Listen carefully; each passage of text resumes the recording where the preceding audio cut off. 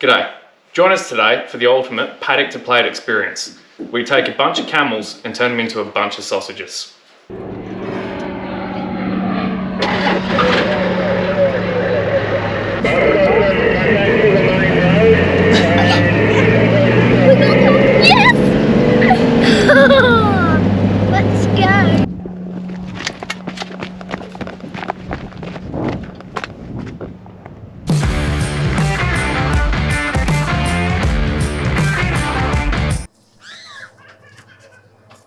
Welcome to the mate room.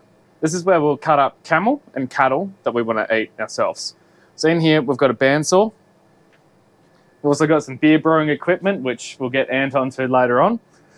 We've got a sausage press and we've got a mincer so that we can make sausages out here ourselves for consumption on the station. Then over here we've got our cool room. And what we've got inside is our camel legs and our camel backstrap.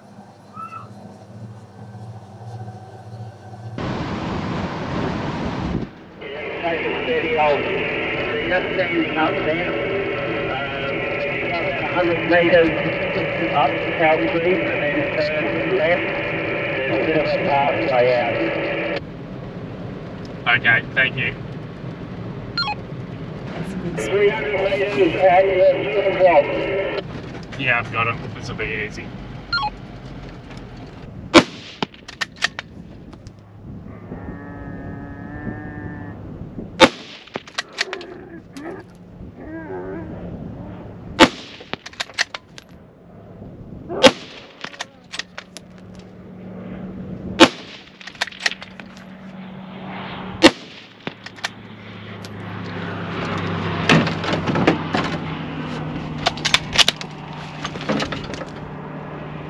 So we've got our backstrap that we can tidy up. Usually we use that for steaks, but our goal today is to try and see if we've got close to 50 kilos of meat for sausages. But if not, we can always scale back our recipe. And so we've got the scales here, so we can weigh our, our camel legs before boning and then after boning and have a good idea of what percentage of meat we've actually got. So I'm nowhere near a butcher, but I'm half decent with a knife. I hope. So I'm going to be a lot slower than a professional butcher. I'm going to stuff it up, but luckily we're making sausages. So let's um, pull a leg out and have a look.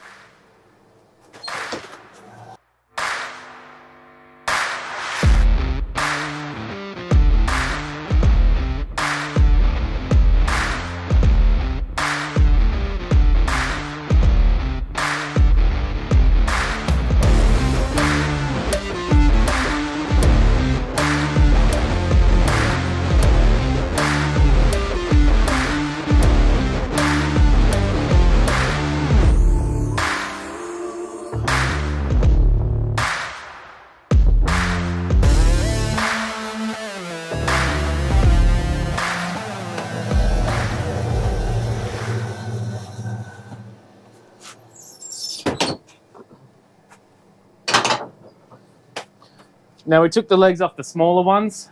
Let's have a look at how much this little leg weighs. 13.1 kilos. So we definitely aren't going to be getting our 50 kilos of sausage meat today. Let's uh, throw him up somewhere to work on it. And we'll get the blades ready.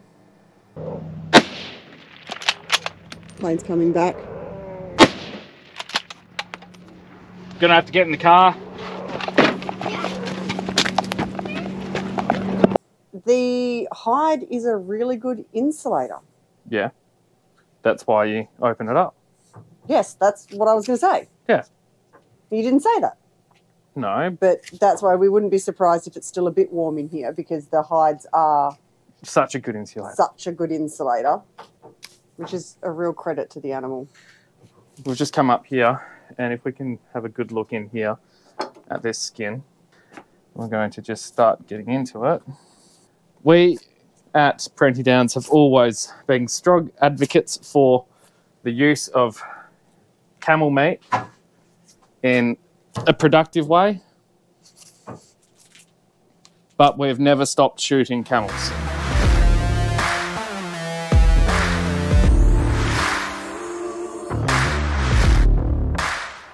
We've just taken our um, our hide off.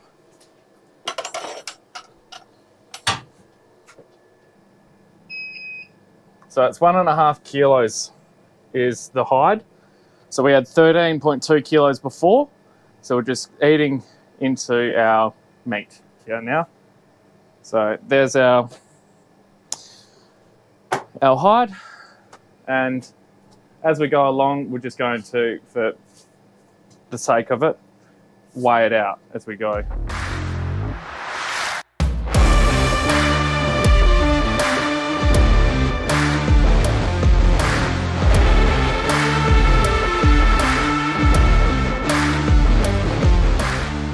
Just see how much bone we have left. So again, we started out at 13 kilos. We're at 2.9, so almost three kilos is the the bone. And we had 1.1 kilos, 1.2 kilos of skin. So we're at uh, nine kilos off that leg.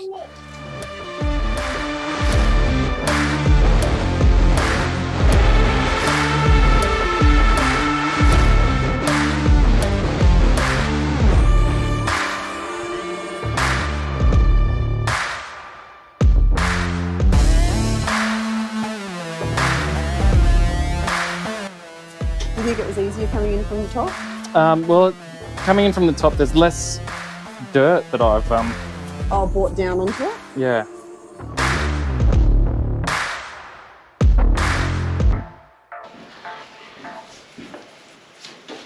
I'll have this bit for you in a second. So just as a disclaimer or an apologetic note, as I'm sure most of you can tell, we do have the kids floating with us today. It is just us with the kids up here at the moment. Um, and kids will be kids and there's only so much background noise we can knock out of things. So for people with sensitive ears who don't, who can hear the kids and not, not much else, we do apologise, but we're doing the, the best we can with that. I guess that's kind of life, isn't it? It is, and kids will be kids.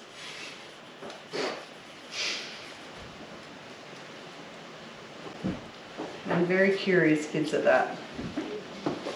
I understand that a lot of people have seen the kids floating in and out of A lot of our videos. a lot of the, and specifically this one. And look, we understand that it might not be how everyone thinks a child should be exposed to some things, but it is our reality. The kids are there with us, they see the stuff with us, and we can't, and nor do we want to shelter them from those parts of the reality of how we live.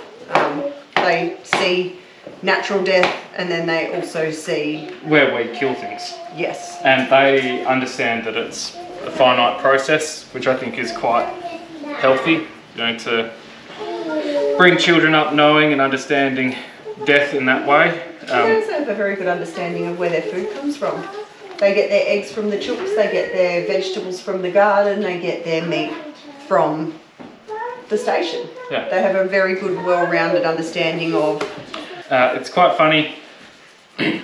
For a long time, the girls would ask us, even when we're serving chicken, you know, did did you kill this one, Dad?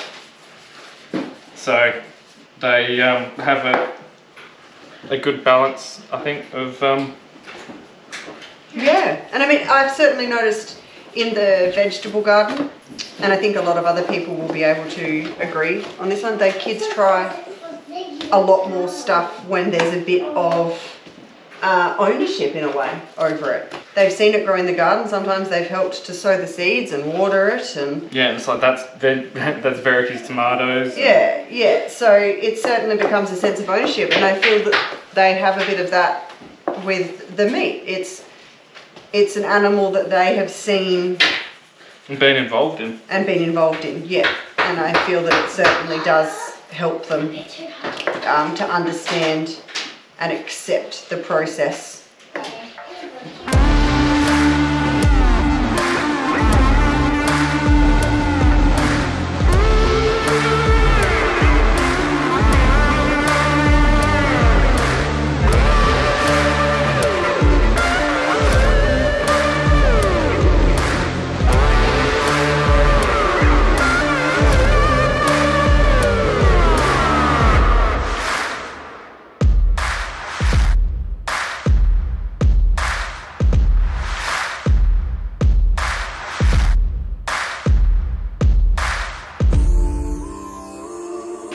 Okay, so our bucket weighs 600 grams. This is our setup at the moment.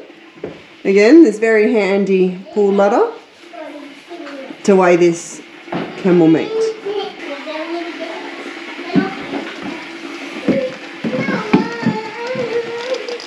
Let's see how much we got. Let's weigh that bucket and then we tip it into the bowl and then we weigh the second bucket because bucket two is not going to fit in that. Power button, please.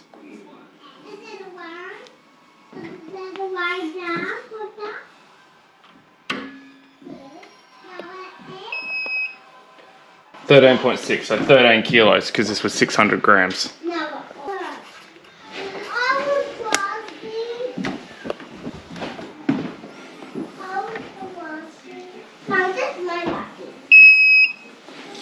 Thirteen point four.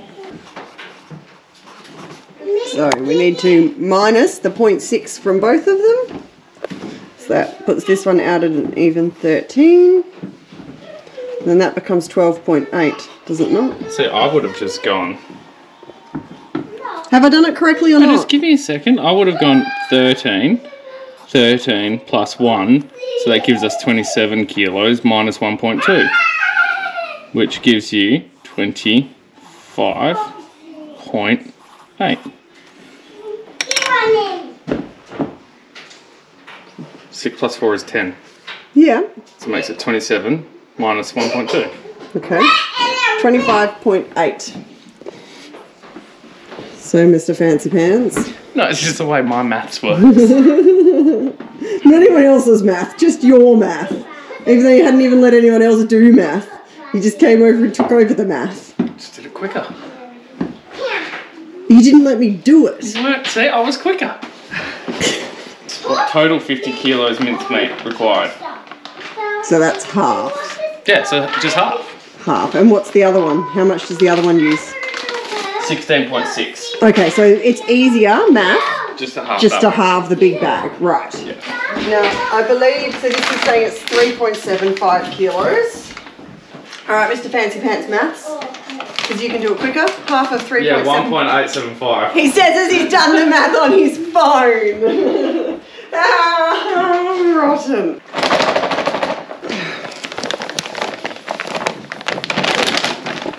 Okay, so.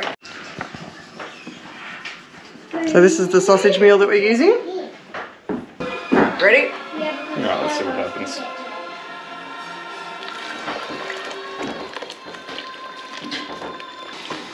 Someone made a suggestion earlier about um, splitting the batch?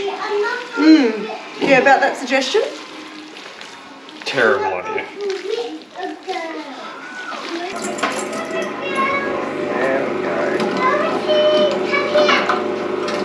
So you know the term bangers for sausages?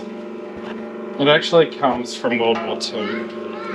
And it's because during rations, the butchers were putting more bread meal into the sausage mix.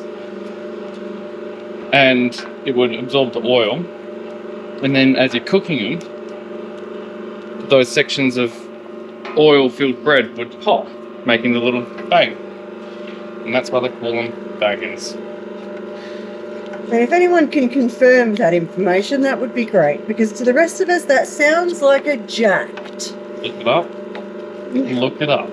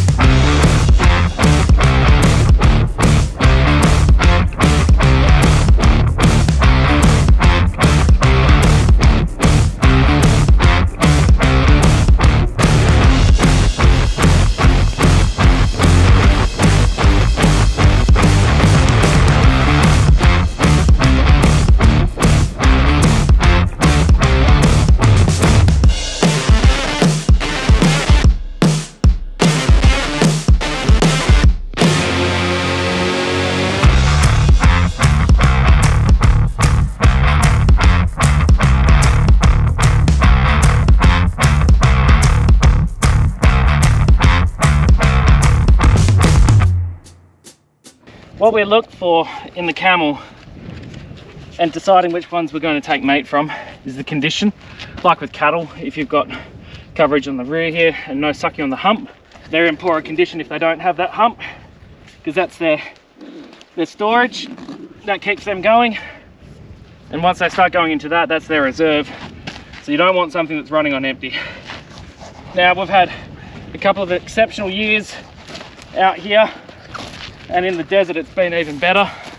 And so the camels are in outstanding condition.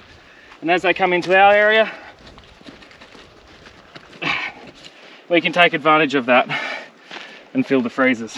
Now we've got a fair bit of complaints from people uh, about wasting the meat.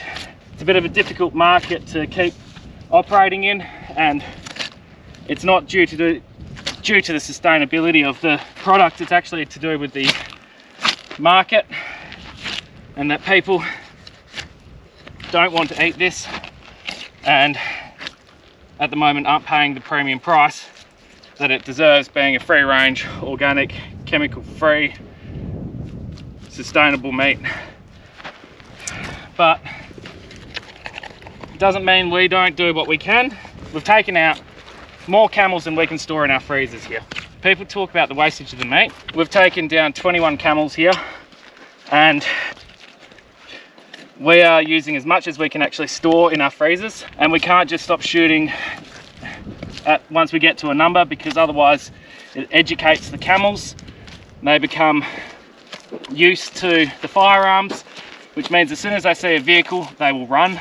Now the animals we saw here today we took them out in a strategic manner targeting specific ones in the herd to pull them up so that we can get 100% control which means that there's no education apart from you, our valued viewers, being shown the premium quality of meat and how we control feral animals.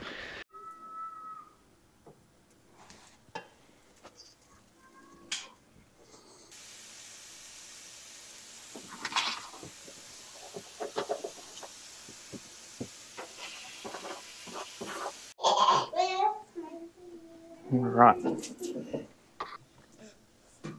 How's that, Verity? Good. How's the sausage? So what do you think? If there are camel sausages at your local hardware store, would you have a crack? Let us know in the comments below. Remember, like, subscribe, share with your friends so they can see what it's like to live out here. And hopefully we can get camel into sausages near you.